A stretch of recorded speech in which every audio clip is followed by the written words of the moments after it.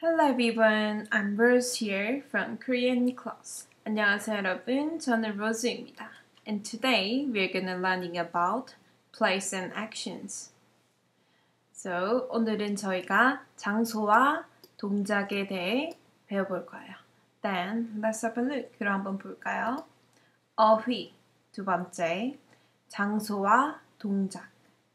Place and actions. 장소 means places and 동작 means actions. So first one 첫 번째로 더 가까이 보겠습니다. We're gonna make more closer. 이것은 공원입니다. 이곳은 공원입니다. Park. Park in Korean is 공원. 공원. And 이곳은 커피숍입니다. 이곳은 커피숍입니다. cafe. cafe in Korean is coffee shop. Or we just saying cafe. shop. And next. 이곳은 서점입니다. 서점. bookstore in Korean is 서점. 서점. Here's a book. 여기 책이 보이네요. Book in Korean is 책. Selling books. Bookstore in Korean is 서점. 서점. And 이곳은 도서관입니다. 이곳은 도서관입니다. Library. Library in Korean is 도서관. 도서관. Next. 이곳은 백화점입니다. 이곳은 백화점입니다. Department store. Department store. 백화점. 백화점. And 이곳은 노래방입니다. 노래방 is karaoke. Karaoke in Korean is 노래방. 노래방. And 이곳은 PC방입니다. 이곳은 PC방입니다. 인터넷 카페. 인터넷 카페. In Korean is PC방. PC방. 이곳은 영화관입니다. 이곳은 영화관입니다. Theater. Theater in Korean is 영화관. 영화관. Or we can say 극장. 극장. It's also theater. And so these are this 공원, 커피숍, 서점, 도서관, 백화점, 노래방, PC방, 영화관. These are places. is 장소. 장소. So 이것들은 전부 장소라고 할 수 있습니다. We can say these are places. 장소. 장소들. 그리고 여기서부터는 동작, actions라고 할 수 있습니다. 음, 가까이. 노래하다. 노래하다.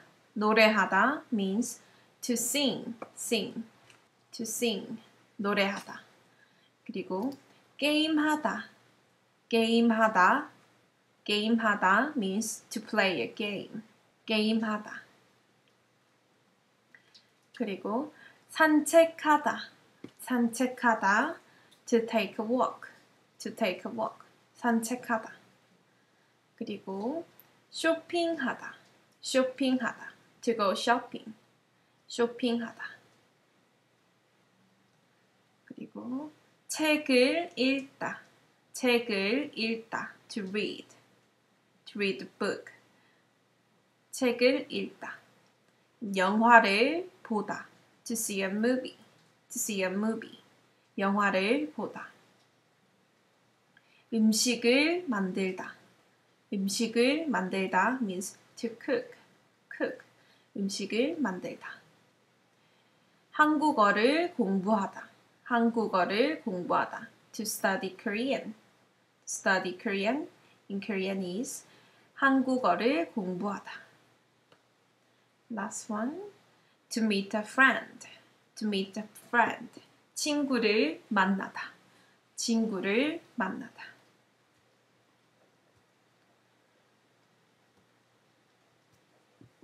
So these are actions.